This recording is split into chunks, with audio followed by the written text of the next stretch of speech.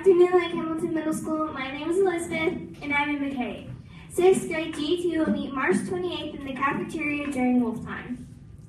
April is School Library Month, and the Media Center will be hosting some special events. Mondays during lunch, come to Make It Monday and use science to create arts, robots, and more. Check the board outside the Media Center for more details. Lunch menu for Tuesday. Classic. Three cheese lasagna, garlic bread, Caesar salad, green beans. Grilled pepperoni or cheese pizza, cheeseburger, turkey hot dogs, fries. Have a great.